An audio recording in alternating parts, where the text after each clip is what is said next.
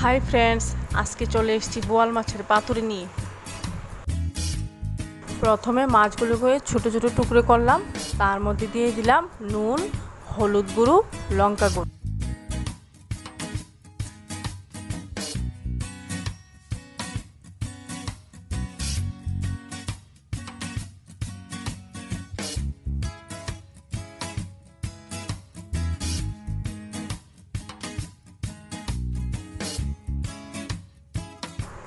এবার কড়াইতে দুই টেবিল স্পুন তেল দিলাম।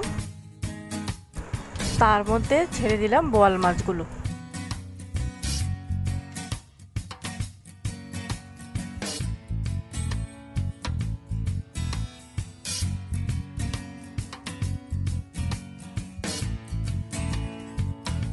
হালকা দুই থেকে তিন মিনিট নাড়াচাড়া করবেন।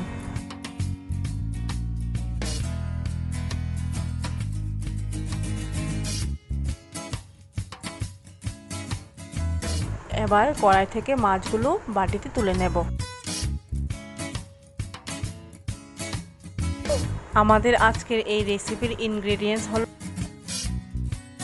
পেঁয়াজ, লঙ্কা বাটা, পেঁয়াজ বাটা, টমেটো, আদা বাটা, নুন, হলুদ রেড চিলি পাউডার আর ধনে পাতা।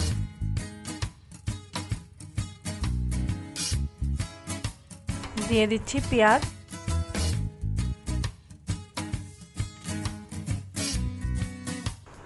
লঙ্কা বাটা পেঁয়াজ বাটা সামান্য পরিমাণে নুন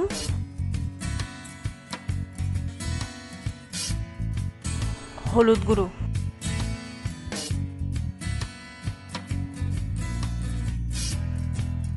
আর দিয়ে দিচ্ছি টমেটোগুলো।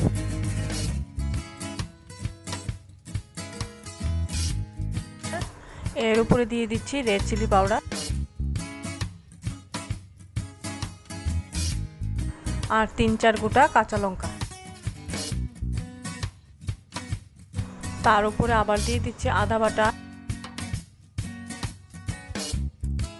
আর ধনে পাতা।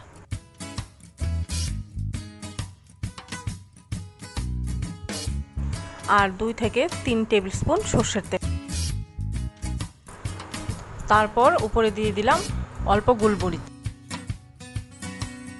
ভালো করে মিক্স করে নেবেন।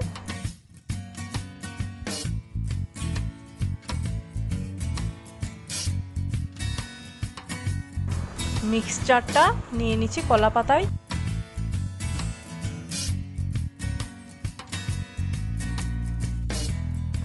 কলা পাতাটাকে এবার ভালো করে বেঁধে নিচ্ছি।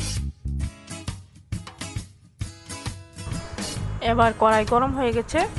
তিরিশ থেকে চল্লিশ মিনিটের জন্য লো ফ্লেমে ঢেকে দিলাম।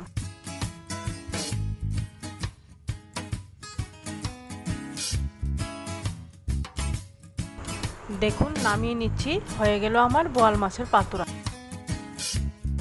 ভিডিওটা ভালো লাগলে লাইক, শেয়ার, কমেন্ট আর সাবস্ক্রাইব করবেন।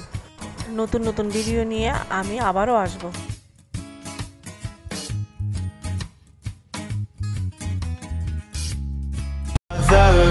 caught in the crossfire.